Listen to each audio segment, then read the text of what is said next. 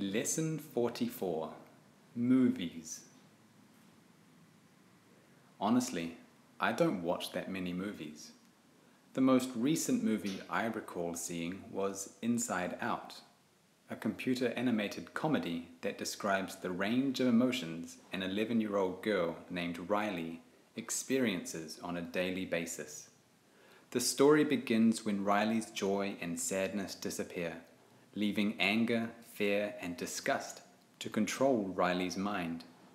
This movie is very clever, as the five key emotions have character representations joy, sadness, anger, fear, and disgust. I think it's a great movie for kids.